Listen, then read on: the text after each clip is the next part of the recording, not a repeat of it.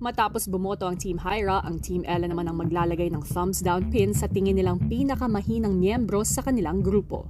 Ikaw ang mauuna, Leofer. Pinipili ko pong taon to dahil hindi niya lang po magawa yung mga basic routines po, basic tricks. Pero sabi nga po ni Coach Ann, it takes time to learn, di ba? Ang taong pinipili ko ay si Mika. Smile lang. Alisa, So this person, um, lagi niyang sinasabi na worried siya na she'll bring uh, the team down and everything. But hindi man siya makaskip.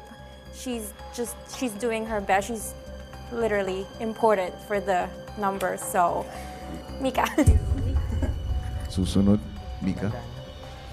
This past few days, na-witness ko talaga yung efforts nating lahat and kung gaano talaga tayo nag-try. And kung pwede ko lang ibigay sa akin talaga yung pin, sa akin ko talaga ibibigay kasi alam kong mahina nga ako talaga sa jump rope. So yun, yung taong pinipili ko, medyo hirap din siya sa jump rope. Ang taong ito ay si Kyron. Mm. Susunod, ay ikaw, Kyron. Sa nakikita ko sa kanya, um, sobrang porsigido siya na matuto na mag-jump rope. Even though nahihirapan siya, push lang pa rin siya ng push. Ang taong to ay si Mika. Ikaw naman ang susunod, Andrea. this weekly task is difficult. So, um, I wouldn't call this person as the pinakamahina because hindi naman siya mahina. eh. But then, alam ko yung taong ito, kaya pa niyang mag-improve. I choose Mika. So sorry.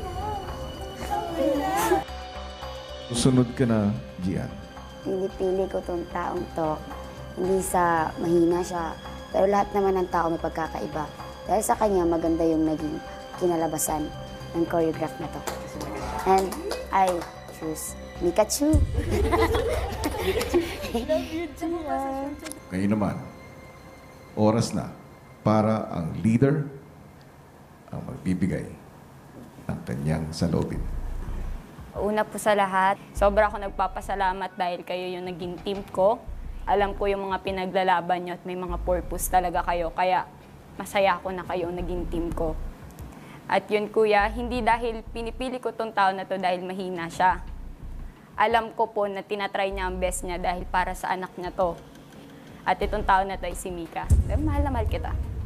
Mahal na mahal ko kayong lahat. Ilang sandali pa matapos mapangalanan sina Chico at Mika bilang pinakamahinang miyembro ng kani-kanilang mga grupo, Isang hamon muli ang ibibigay ko sa inyo. Dahil ngayon, mas susubukan ko pa kayo para sa inyong jump rope choreography task. Dahil sa puntong ito, ang mga pinili ninyo na pinakamahina sa grupo ninyo ay magpapalit ng team.